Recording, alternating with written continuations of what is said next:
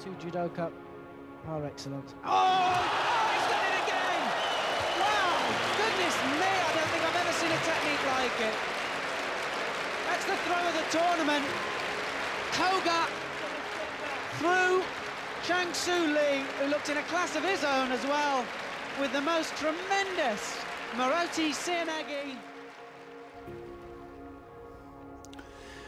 For me, I think Koga was a revelation. For judo, he was an amazing man that showed us a different way uh, of achieving something special.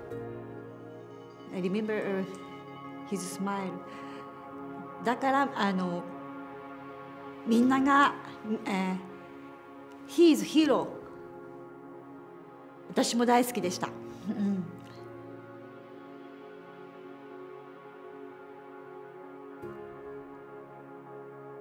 I remember in '89 he uh, won, um, uh, I think, the semi-final with a one-handed uh, throw, and we watched this over and over again. So after a while, this uh, part of the video was completely faded away.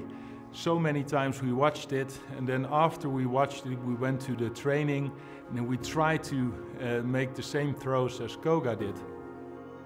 He was outstanding and you think, bloody hell, how is that possible? How can you throw this amazing techniques from these impossible situations uh, and positions?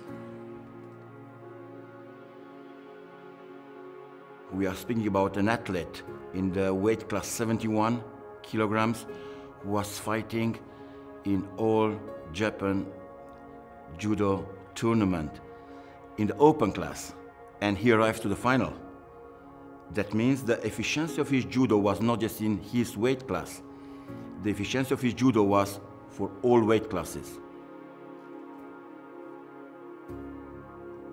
훌륭했습니다. 그래서 배울 게 많이 있었어요. 그리고 밖에서 볼 때, 와, 어, 정말 멋있다. He was always looking for a point for the big, big throw, even if he was ahead and had uh, scores he never stopped. But also when he lost, he still had the respect. He was standing there, crying, was emotional, but still with the values of judo. We will never forget his smile.